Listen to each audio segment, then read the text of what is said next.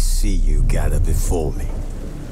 Hungry, terrified, clutching your babes to your breast.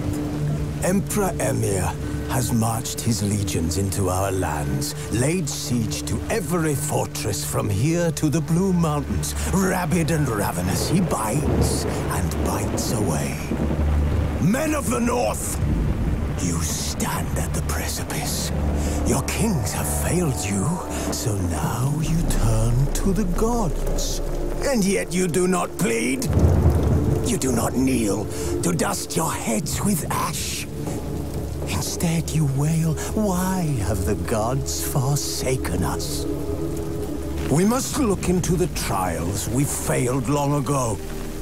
In a time past, our world intertwined with another through an upheaval scholars call the conjunction of the spheres.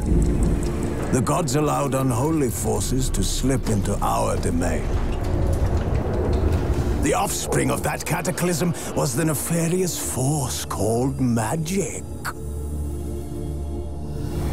Yet we did not banish it, instead studying the vile arcane for our own power and wealth.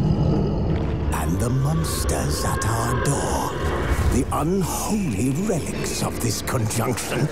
The trolls, the corpse eaters, the werewolves.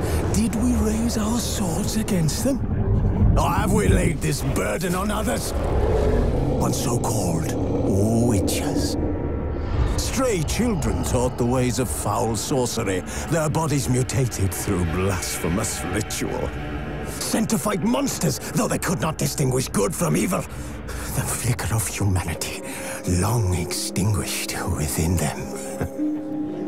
yes, their numbers have dwindled through the years, but a few still roam our lands, offering their bloody work for coin. To this day, they shame us with their very existence. The North bleeds! Flogged by war!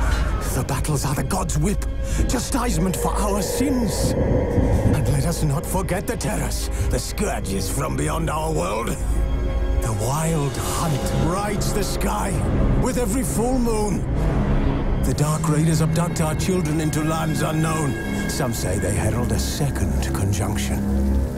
Can we chart a course back into the light? Will we find the strength to banish the mages from our kingdoms? Unite around the warmth of the eternal fire. Nigh is the time of the sword and axe. None will fight this war in our stead. Nigh is the time of madness and disdain.